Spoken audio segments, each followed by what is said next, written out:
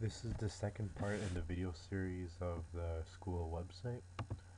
Um, right now I'm going to go over the advanced functions I put in for the website. Um, on the side over here I added a chat window. It's sort of like an IRC chat window uh, or form. Basically, um, I put in Chatango, but I could have just as easily made something like this with jQuery, and it would have only taken me like 10 minutes. However, um, this is for everyone to communicate with everyone that's logged in at a given time and ask each other questions anonymously. I thought that would be useful since uh, um, it's just nice to be able to talk to people, you know, uh, and know who's logged in at a given time. And over here you have a log.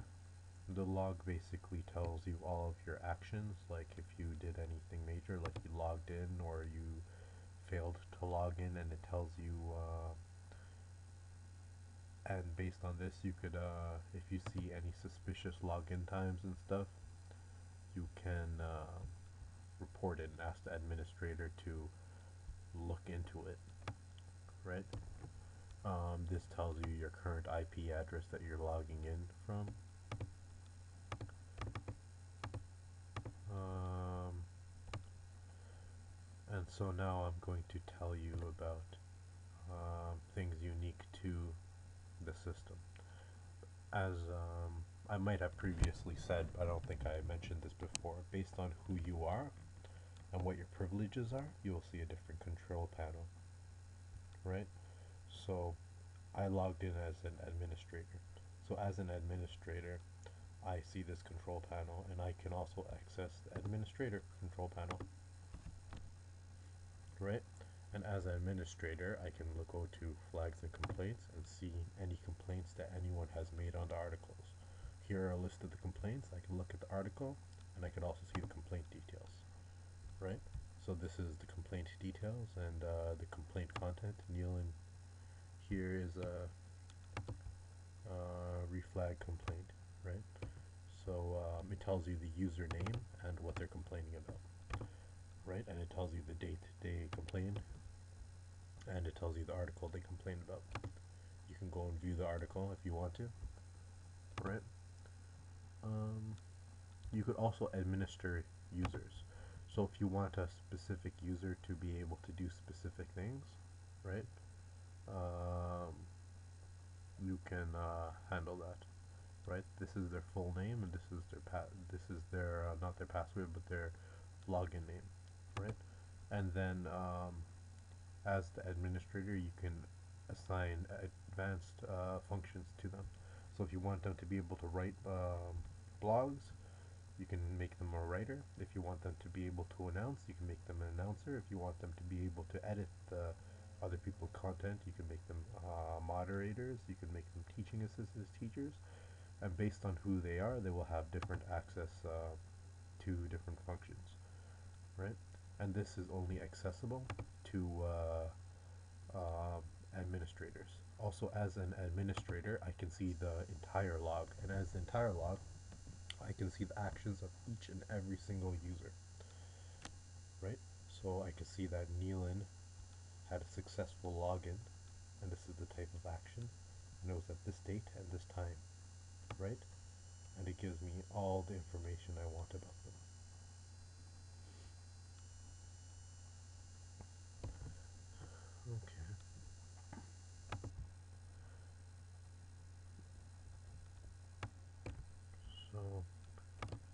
Go back to the control panel. And if I want to I could also read the news. Right? So it'll just take me to the main page. And if I want to see specific news categories I can click on them. Right? I want to see tech science or I want to read these articles. Or if I'm, I'm curious about another subject I'll go to medical school and uh, for uh, that type of uh, articles and I can click on it and I can see what it's about right as an administrator, I have the option to lock an uh, article so that no one except another administrator can do anything to it, like delete it, right? Um, so I'm going to, I just locked it, so now I'm going to unlock it, right? So it's unlocked. This tells you you can lock the article. So as an unlocked article, now I can look at the flag details regarding the article. I can demote the blog, right? Um, uh, this is this is a news article. I can make it into a normal blog, or I could flag it and complain about it. Um, when you demote an article to a blog, right? You can. Hmm. Let me fix that just a second.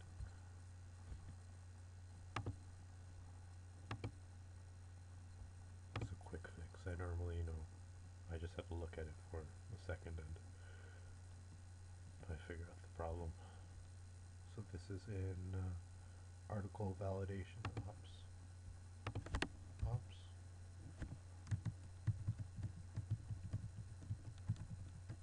Article validation. It's just that I did a mass replace recently and as a result it resulted in me having to um, it resulted in a lot of information being sort of confused but you know.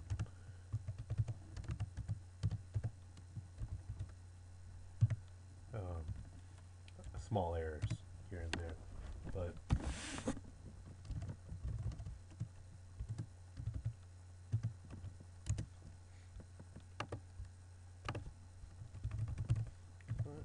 functions.php. I put all my functions in a file called uh,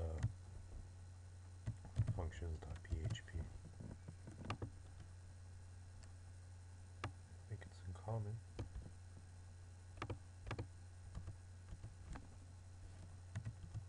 Yep, and let's see.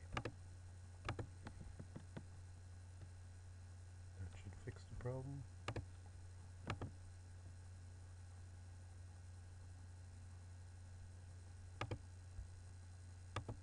Or did I just get disconnected from the internet?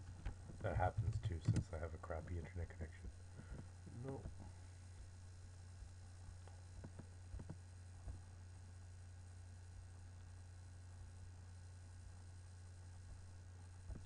And now let's try that again. Demote the blog. And it didn't upgrade. Upload.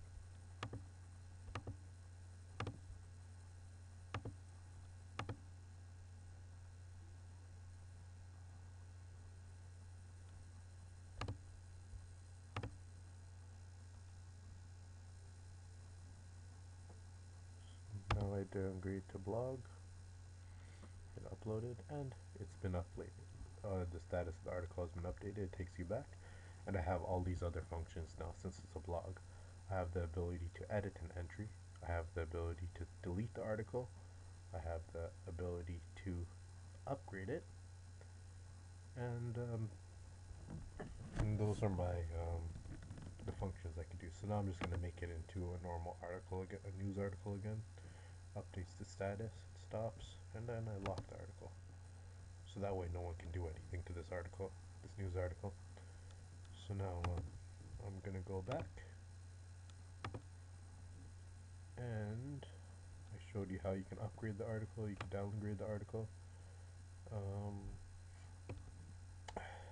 you could read the news, you can look at videos, you've seen that already but I haven't showed you how you could post a blog. So you can click here, you can post a blog, right? So since you're a user now, you can uh, post a blog, so you put in the title of the blog, you say what you want it to be, what type of article you want it to be categorized as, you, you could choose to upload a picture or not, you can add a summary of that picture, you can add content to that picture, and then you submit it, and then the article will be, um, you will have posted a blog um, you could submit a video, right? It's, it works the same way. Uh, you could go and look at your own blog, right? So these are all the articles I've written um, as um, this user. So they're basically cut and paste articles. So you can close, You can go to the article, you can read about it, you can see what it's about, and then you can go um, basically go and see all the articles you wrote. If you want, you can just click post a new blog and you'll post a new one, right? Um, and then, as every user has their own bulletin board when they're logged in, right? So basically, this is like a Facebook structure. You say um, what you're thinking. I am hungry. You share it with people, and uh, then uh, it'll show up here. I'm gonna pause this for now since uh, my mom's calling me to eat.